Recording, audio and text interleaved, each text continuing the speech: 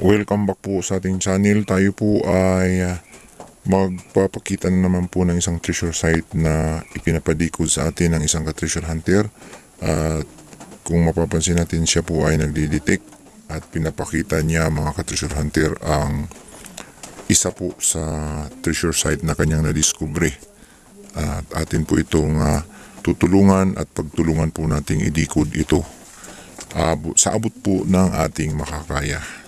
So ito pong mga ganitong klase, kagaya nito may mga arrowhead na ganyan. Sundan nyo po yung arrow na yan, yung tulis niya at papansin natin na may parang letter U na patagilid at guhit ah, sa ibaba. Yan, ibig sabihin po niyan ay drifting tunnel.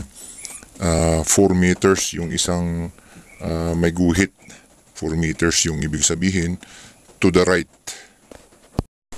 yung parang letter U or letter C na makikita ninyo ang ibig sabihin niyan ay tunnel at saka yung guhit ay ibig sabihin niyan ay tunnel under mga ka-treasure hunter sapagkat nasa ibaba siya ng parang letter U or letter C.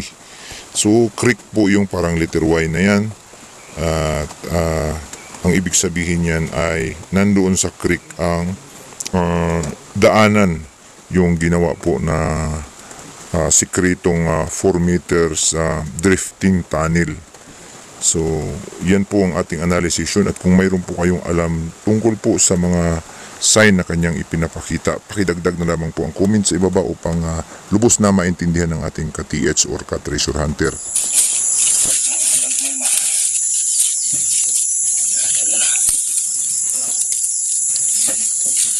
Kini yung higit sign.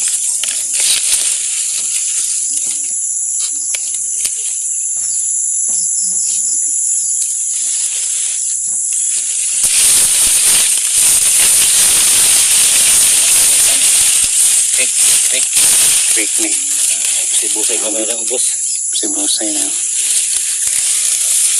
Si Busay ni.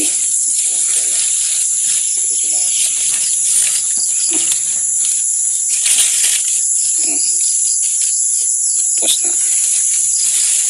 Nani sa skilid sa creek. Yan ang katadangan. Yan na, Bads? Hmm?